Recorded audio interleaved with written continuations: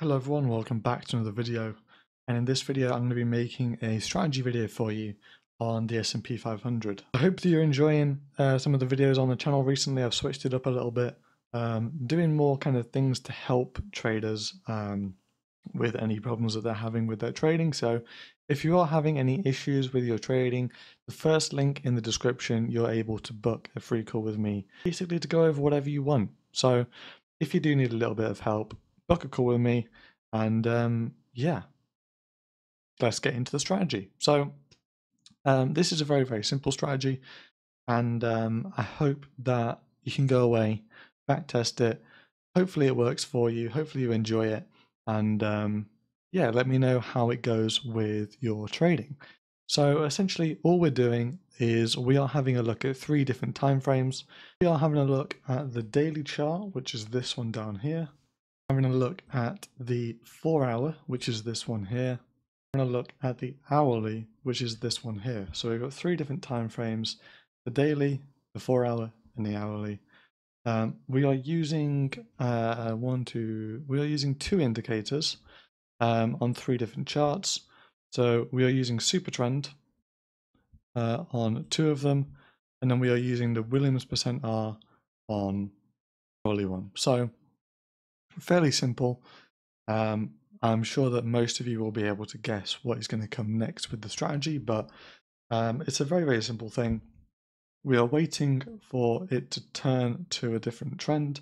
In this case, bearish, um, pretty much since January 1st. We've been in a bearish market for the S&P. And then we are waiting for things like this, things like this, to basically turn into another bearish trend on the four hour and then we are using the Williams percent R to find trades um, correlating with both of these um, directions on the one hour. So for example, as you can see, when it's red here, red here, we are looking for bearish trades on the S&P. When it's bullish and it's bullish, we are looking for bullish trades on the S&P. Fairly simple, fairly straightforward. Um, but yeah, I'll show you a few trade setups. I don't want to be showing you all of them. Um, again, you can go and backtest this for yourself. Um, I'm just going to be showing you some of the most recent ones. So we have is this one. Actually, I'll show you the settings for the um, Williams percent R first.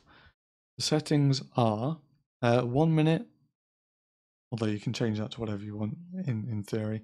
Um, but mine's on one minute 10 and then style is white upper band is at minus 15 middles minus 50 lowers minus 85 i don't know whether this will change i think it will yes it will.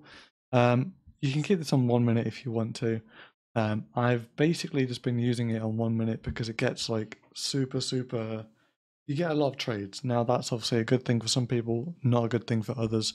For me I kind of like it because it enables me to get into trades that I might not be in otherwise. You can obviously test which one fits with your trading the best. Um, this is not a kind of an exact strategy. You know, you can test and see which one fits best with you. But for this one, I'm I'm going to be showing you the one minute. Um, yeah, super trend basic kind of default stuff. Um, so there's not really much change with that. But yeah, let's have a look at some of the trades. So obviously we're going to have some winners in here, we're going to have some losers in here, but essentially you're waiting until it comes up above that minus 15 level, entering a trade. And for me, I like to have like set pip stop losses. Um, so for me, uh, 100's been working well for me, but obviously this is on the hourly, so you might want to be going for a little bit more. So you could go for 100 pips, and then you could go for whatever take profit you would need. But um, again, this is dependent on your on your kind of style of trading, right? Some of you might not want to stop loss this close. You might want to go uh, up to the high of the previous candle. You might want to go for double the entry candle on top. I've used that in some of my previous strategy videos and it's worked quite well. Um, you might want to be going for the high of the last swing. It's up to you really on how you put your stop loss here. But you know you can you can decide on whatever you want and then your take profit i would say minimum two to one. Don't go any less than that. You could go 1.5 if you really wanted to, but I think with this kind of style of trading, you want to be grabbing those moves when they come. So don't kind of limit the the upside whenever you are in that trending market. So for me, I would prefer to go for a three to one. Uh, where is the three to one? Three to one's like here. Obviously, if that's a random stop loss, you could go for the high of the last candle. Uh, but you'll see why the, the high of the last candle can be a little bit strange. Um, it's not going to work for some of these entries. So I don't recommend going for the high of the last candle.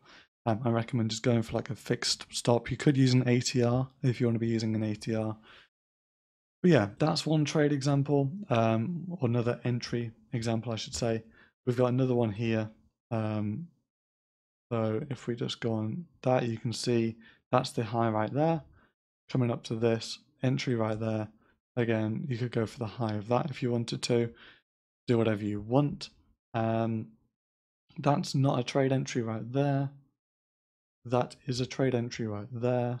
So I'm just going to be going through and showing you these so that you can see some of the entries that you could take and some of the ones that um, you can backtest in the future. So, you know, it's not um, going to be giving you 100% accuracy. Um, no strategy will, but you know, if you do want to be trading something where you can grab those nice reversals like this one up here, then there's going to be plenty of trading opportunities for you. Um, that's that one. But yeah, as you can see, sometimes you'll get a, you'll get something like this where the market will continue to push higher when it's giving you these signals. That is when you can have some serious losses.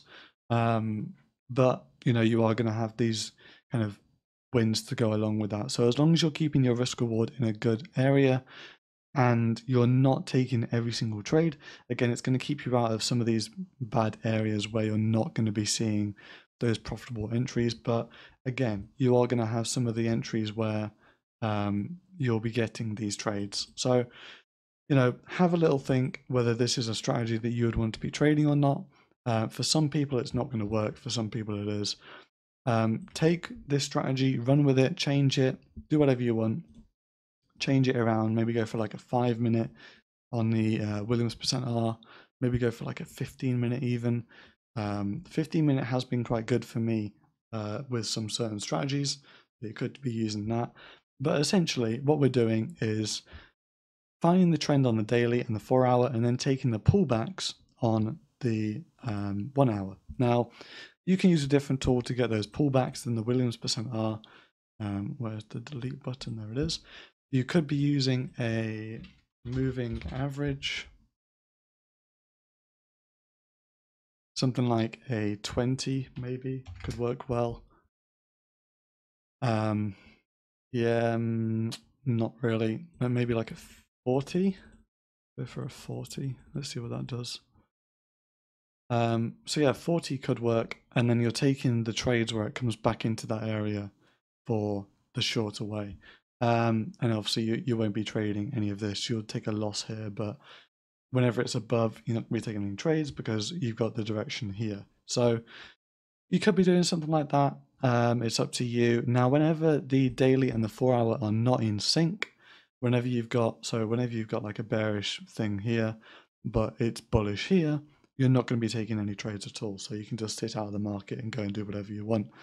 Um, but then when it is going to be bearish, like in hold on um, like in these scenarios here you can then be taking those trades like this one you'll be taking trades in here um, you'll be taking a few trades in here as well so you know you can do that and see how that works but essentially the main core of it is you're taking those pullbacks in the direction of the daily and the four hour. I hope you've enjoyed this video. Um, if you want to be part of the private community make sure to hit the join button below. I hope you have an amazing day and I will see you in the next video.